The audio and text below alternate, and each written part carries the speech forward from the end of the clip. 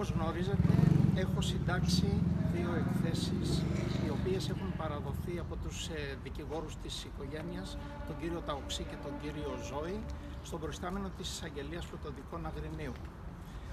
Ε, και στις δύο εκθέσεις έχω καταλήξει το συμπέρασμα ότι πρόκειται για δόλια εγκληματική ενέργεια και σε καμία περίπτωση δεν πιστεύω ότι υπήρξε αυτοχειρία.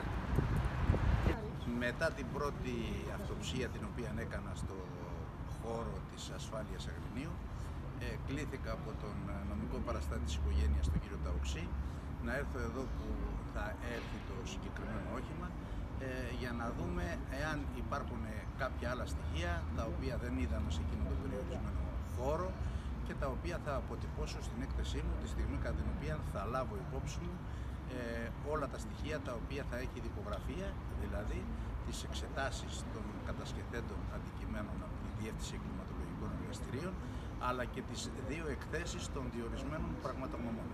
Αυτή τη στιγμή δεν έχω να προσθέσω τίποτε άλλο.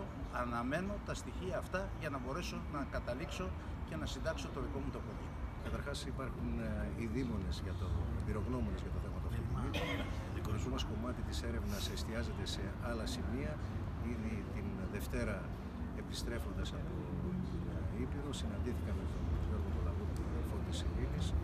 Συζητήσαμε πολλά πράγματα. Υπάρχουν δύο συνεργάτες μου που είναι μόνιμοι πλέον μόνιμα εγκαταστημένοι στην περιοχή του Αγρινίου, συγκεντρώνουν πληροφορίες.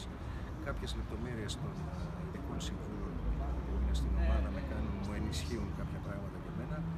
Ε, έχω πάντα την ε, αίσθηση ότι ε, για να τρισυδικήσει μια υπόθεση και να είμαστε απόλυτα βέβαιοι για το τι συμβαίνει, πρέπει να συμπληρώσουμε και το τελευταίο τετραγωνίδιο του παζλ. Ε, αν με ρωτήσετε να σας πω, δεν θα σας πω το γεγονός όμως ότι συνεχίζω να ερευνώ, αυτό λέει πάρα πολλά.